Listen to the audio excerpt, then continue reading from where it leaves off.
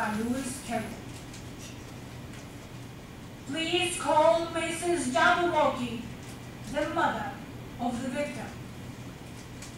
As you may recall, she and her son were playing in the woods when suddenly, out of nowhere, the son was attacked and murdered, not more than 50 feet away from where she was standing. Her testimony is considered the key to the prosecution case against the little boy who, despite his innocent appearance, is responsible for the savage murder and beheading of Mrs. Jabberwocky's son.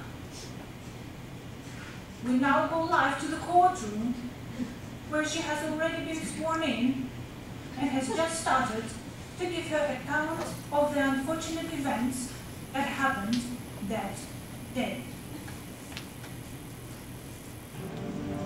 was brillig, and toes to gyre, Mimsy was a barracles, and the momras are grave.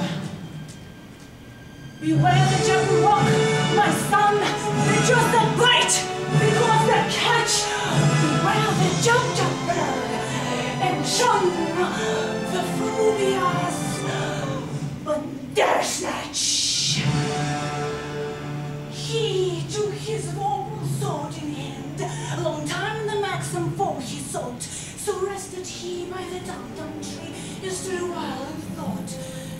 And as an uffish thought he stood, there jabberwock with eyes of flame came riffling through the tulgey wood and bellowed as it came. One, two, one, two, and through and through the bubble sword went snicker, snack! He left it dead, and with its head